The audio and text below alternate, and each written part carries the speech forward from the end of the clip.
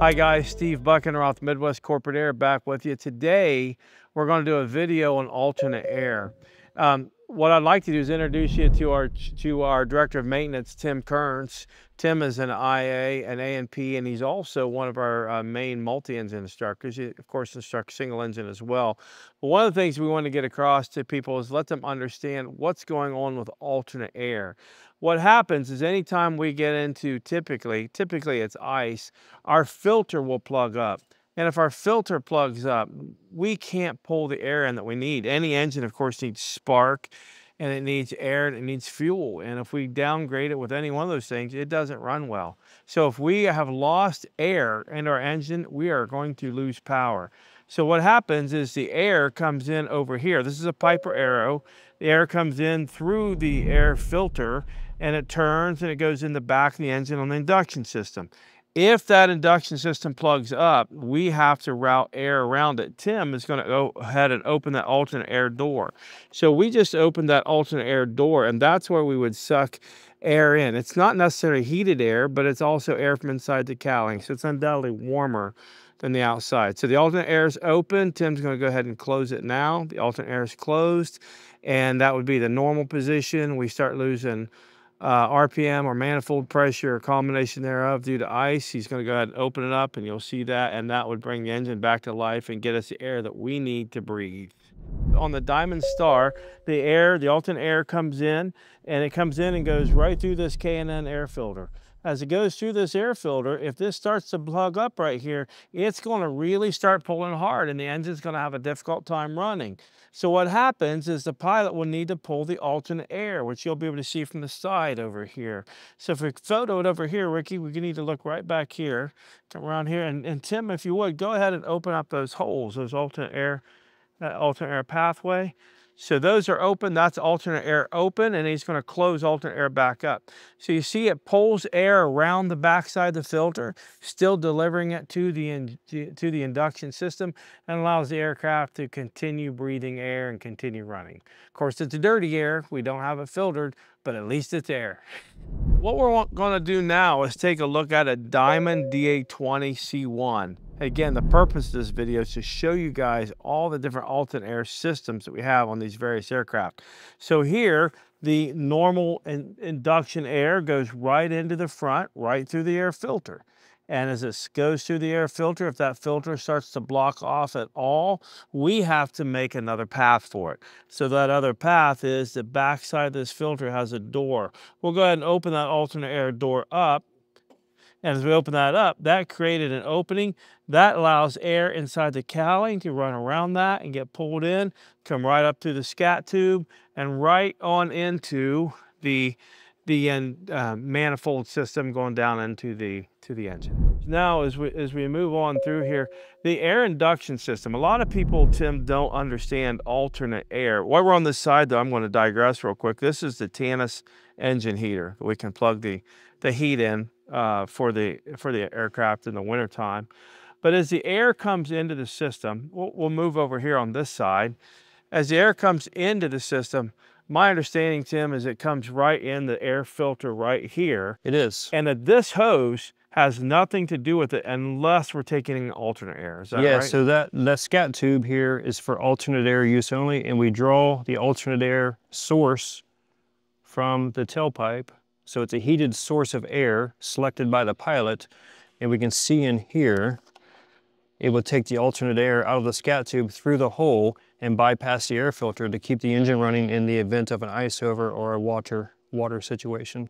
So am I correct saying normally the air goes through this filter? It does. If the filter plugs up, it can't breathe anymore. It's just like us having a mask on our face that's all frozen up can't breathe anymore and it's sucking air. This engine is just pulling enormous amount of air, I know.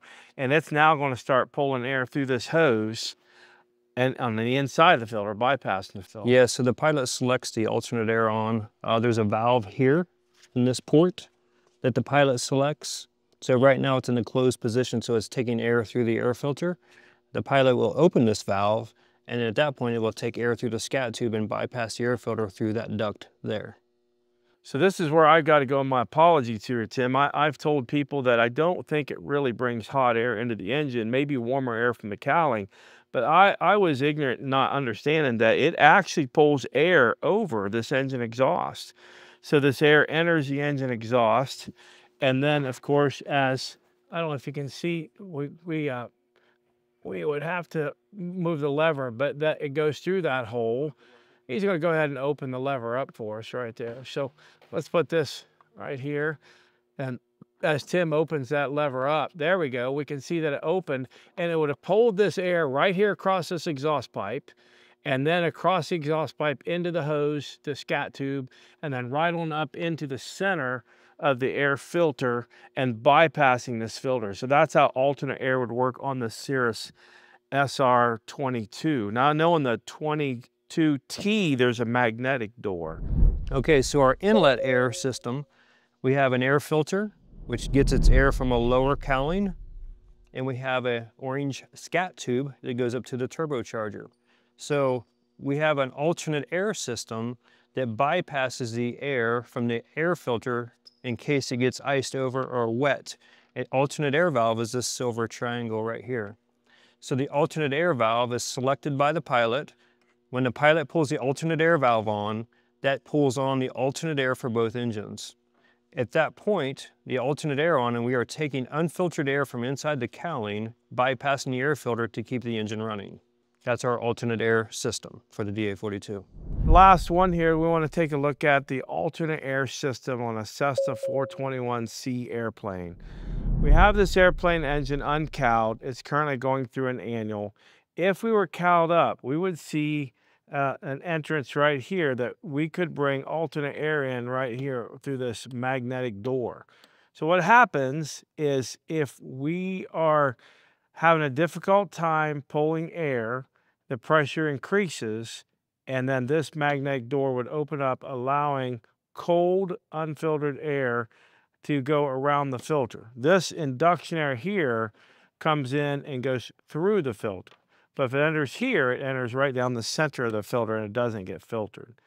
Now, if that wasn't enough, that's an automatic alternate air door. In the airplane itself, we have an alternate air door door knob and we pull that alternate air. So we'll go ahead and pull that alternate air now.